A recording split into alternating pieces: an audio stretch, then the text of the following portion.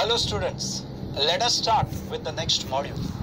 In this module, we study sums based on composite function.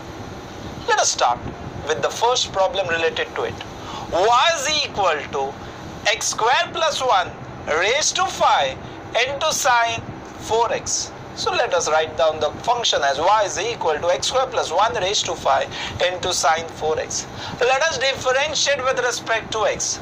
The derivative of y is dy by dx. So it will be, there are two variables separated by multiplication. We will use the rule.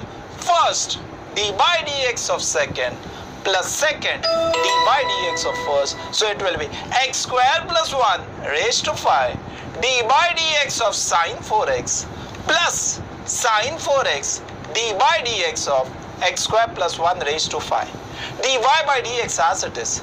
x square plus 1 raised to 5 as it is.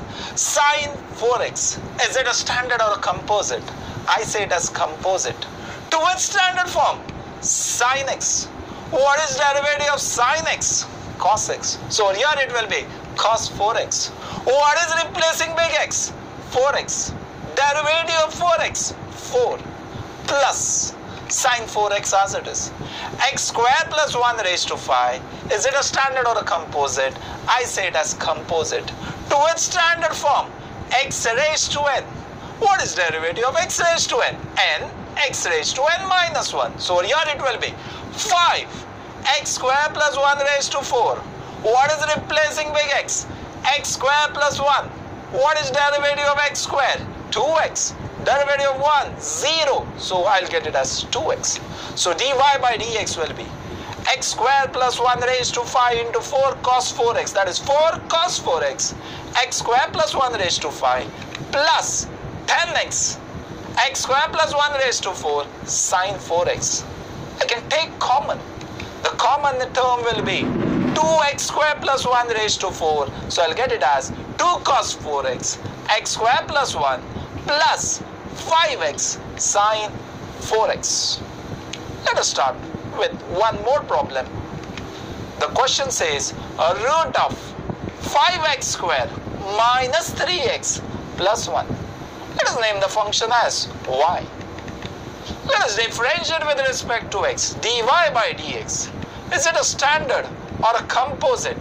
I say it as composite to which standard form? Root x. What is derivative of root x? 1 by 2 root x. Or here it will be 1 upon 2 root of 5x square minus 3x plus 1. What is replacing big X? 5x square minus 3x plus 1.